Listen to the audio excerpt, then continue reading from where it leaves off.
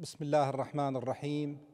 الجلسة الاعتيادية رقم خمسين لمجلس الوزراء الثلاثاء الموافق 12 كانون الأول 2023 توجيهات السيد رئيس مجلس الوزراء. استعدادا لإجراء انتخابات مجالس المحافظات.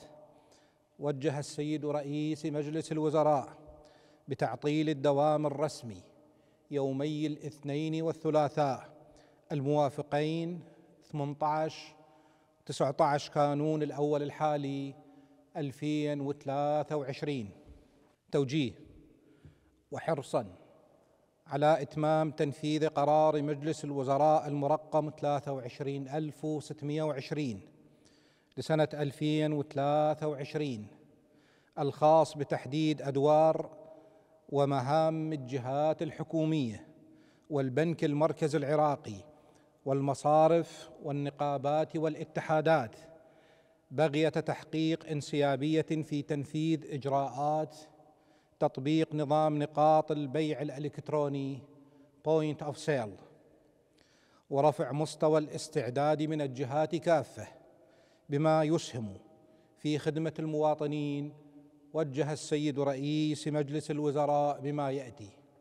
أولاً بيان الدائرة القانونية في الأمانة العامة لمجلس الوزراء إجراءاتها بشأن تشريع نظام الدفع الإلكتروني ويتطلب استكمالها وعرضها على مجلس الدولة لتدقيقه ويقدم في جلسة مجلس الوزراء المقبلة لغرض الموافقة على إصداره. ثانيا تلتزم دائرة شؤون مجلس الوزراء واللجان بمتابعة تنفيذ قرار مجلس الوزراء. رقم 23620 لسنة 2023 مع الجهات كافة. الموجه إليها القرار آنفا ميدانيا وتقديم تقرير مفصل خلال كل جلسة من جلسات مجلس الوزراء لبيان مستوى الالتزام والتقدم بتنفيذ القرار آنفا بشكل تام بما يسهم في الإسراع بإنجازه وتنفيذه. ثالثا بيان مستوى التنفيذ المتعلق بنصب أجهزة نظام الدفع الإلكتروني ومراحل التقدم في التعاقد مع شركات الدفع الإلكتروني على كل مستوى. الوزارات والجهات غير المرتبطة بوزارة والمحافظات. رابعا بيان مستوى التقدم في موضوع إجراءات حصر وتحديد الخدمة المقدمة وأنواعها والمبالغ المستوفاة من المواطنين عن كل خدمة ووضع سياسة تسعير العمولات لخدمات الدفع الإلكتروني. خامسا بيان تحديد الحد الأدنى من المتحصلات النقدية. عن طريق نظام نقاط الدفع الإلكتروني من قبل الجهات القطاعية المعنية وعرضها على المجلس الوزاري للاقتصاد شرطا لتجديد رخص العمل أو إجازات ممارسة المهن. سادسا تحديد نسب الإنجاز فيما يتعلق بإلزام أصحاب النشاطات التجارية جميعها. بتسجيل كياناتهم في السجل التجاري وتسجيل أصحاب المهن لدى الجهات القطاعية المختصة. سابعا بيان مدى التزام وزارة العمل والشؤون الاجتماعية بشأن إلزام دائرة التقاعد والضمان الاجتماعي للعمال بتسديد مبالغ الضمان الاجتماعي عن طريق نظام نقاط البيع الإلكتروني. ثامنا بيان الإجراءات المتخذة بخصوص قيام الجهات الحكومية بفرض أجور إضافية خمسة بالمئه كحد أقصى عن أقيام السلع والخدمات بالتعاملات النقدية مع مثيلاتها المستوفاة عن طريق أنظمة الدفع الإلكتروني تشجيعا لاستخدامها. مقررات مجلس الوزراء.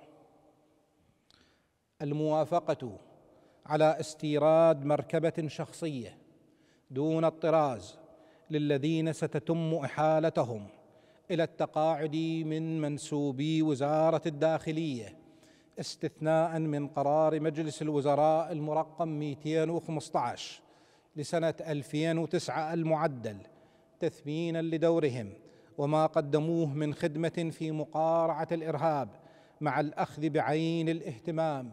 رأي الدائرة القانونية في الأمانة العامة لمجلس الوزراء ويعد هذا القرار نافذا اعتبارا من تأريخ صدوره. تخصيص وزارة المالية مبلغ 25 مليار دينار فقط إلى وزارة الداخلية من احتياط الطوارئ لسد احتياجات ومتطلبات قيادة قوات الحدود. لإكمال التحصينات على الحدود مع دول الجوار لضبط أمن الشريط الحدودي والحد من حالات التهريب والتسلل بحسب كتاب وزارة الداخلية المؤرخ في سبع كانون الأول 2023 واستثناء العقد من أساليب التعاقد المنصوص عليها في المادة ثلاثة من تعليمات تنفيذ العقود الحكومية. قرار الموافقة على ما يأتي. واحد مناقلة مبلغ 43 مليار وسبعمائة وتسعة وستين مليون ومائة وتسعة وأربعين ألف دينار فقط ضمن موازنة المفوضية العليا المستقلة للانتخابات من برنامج انتخابات مجالس المحافظات إلى حساب انتخابات برلمان إقليم كردستان. استنادا إلى أحكام المادة خمسة من قانون الموازنة العامة الاتحادية لعام 2023 ومناقلة مبلغ الفرق البالغ 25 مليار و460 مليون و851 ألف دينار فقط من احتياط الطوارئ المرصد ضمن موازنة إقليم كردستان وإضافتها إلى موازنة المفوضية العليا المستقلة للانتخابات لسنة 2023 أزاء حساب انتخابات برلمان إقليم كردستان. اثنين تخويل رئيس مجلس المفوضين في المفوضية العليا المستقلة للانتخابات صلاحية الصرف لأعمال انتخابات برلمان إقليم كردستان. قرار الموافقة على قيام وزارة المالية بتمويل إقليم كردستان العراق بمبلغ خمسة مليارات وخمسمائه واثنين وستين مليون ومائة وتسعة وأربعين ألف دينار فقط من المبلغ المتبقي من تخصيصات احتياط الطوارئ لإقليم كردستان لسنة 2023 لتنفيذ توصية اللجنة الوطنية العليا للمياه لحل مشكلات الجفاف والفيضانات في إقليم كردستان. قرار إقرار توصية المجلس الوزاري للاقتصاد رقم 23281 بشأن مشاريع المجمعات السكنية المزمع تنفيذها عن طريق الاستثمار بحسب الآتي. واحد الموافقة على إطفاء مبالغ الاندثارات المثبتة في كتاب وزارة الإعمار والإسكان والبلديات والأشغال العامة المؤرخ في سبعة آب 2023 من أصل تخصيصات المشاريع الاستثمارية. المدرجة لسنة 2023 ومن ثم يتم حذفها من المنهاج الاستثماري للوزارة المذكورة انفا بعد إحالتها إلى الاستثمار على وفق قانون الاستثمار وتزويد هيئات الاستثمار المختصة بالتفاصيل. اثنين تتحمل وزارة الإعمار والإسكان والبلديات والأشغال العامة صحه ودقه موضوع الاندثارات ومبالغها على أن تمنح الإجازة الاستثمارية للمشروعات موضوع البحث من هيئة الاستثمار المختصة على وفق قرار مجلس الوزراء رقم 245 لسنة 2019 المعدل بقرار مجلس الوزراء المرقم 23374 لسنة 2023 مع الأخذ بعين الاهتمام رأي الدائرة القانونية في الأمانة العامة لمجلس الوزراء. قرار الموافقة على استثناء مساحة 200 دونم المطلوب تخصيصها لمقر وزارة المالية من المساحة المخصصة في قرار مجلس الوزراء المرقم 175 لسنة 2019 للأسباب المبينة في كتاب وزارة المالية المؤرخ في عشرين تشرين الثاني 2023 وإعادة تخصيصها لمقر وزارة المالية ودوائرها. قرار إقرار توصيات محضر اجتماع مناقشة صلاحيات وزارة التخطيط بشأن وضع ضوابط تسهيل تنفيذ المشروعات التي رافقتها انحرافات عن خطط التنفيذ وتشجيع جهات التعاقد على حسن التخطيط وتقدير كلف المشاريع بشكل أدق بحسب الآتي. واحد لجهة التعاقد زيادة مبلغ الاحتياط للعقد بنسبة سبعة بالمية من مبلغ العقد بما لا يزيد عن سبع مليارات دينار ضمن الكلفة الكلية للمشروع أو العمل. اثنين لوزير التخطيط بناء على طلب من رئيس جهة التعاقد زيادة مبلغ الاحتياط لعقد المشروع لما زاد عن سبعة بالمية. ولغاية 12% من مبلغ العقد بما لا يتجاوز إجمالي الزيادة عن 12 مليار دينار.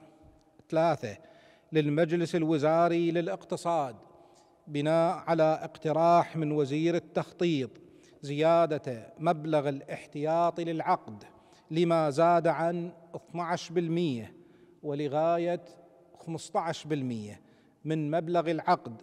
بما لا يتجاوز إجمالي الزيادة عن 15 مليار دينار.